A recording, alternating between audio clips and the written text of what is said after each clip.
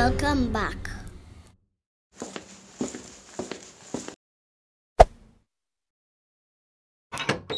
Hello, hello, hello, and welcome back to Kenda's Corner. This is the ingredients you're going to need for this syrup. So let's get into it.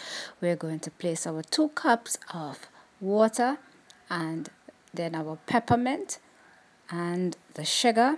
Use a whisk or a spoon and dissolve the sugar. But before we continue, a quick reminder.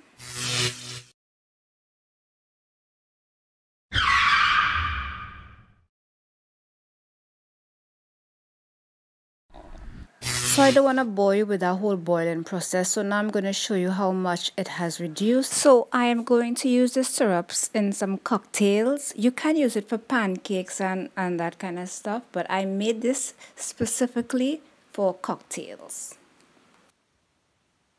Click the bell for One school I am going to place in a jar and the ingredients remember 2 cups of water 2 cups of sugar 2 tablespoons of peppermint. If you want it a little stronger you can add more peppermint and you can also use this in your pancakes or waffles. I am making the syrup for some cocktails. I hope you enjoy watching. Thank you so much for your support and happy new year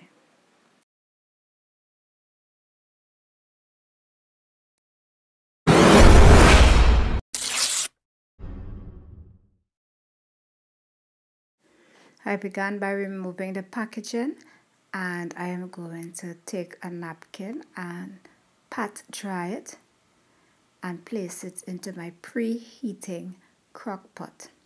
So to make sure that my ham is evenly cooked, I am going to place thermometers throughout the ham and at certain points in the cooking just to check to see if it's cooked. So I already placed two, one on my left and one to the center. Before we continue,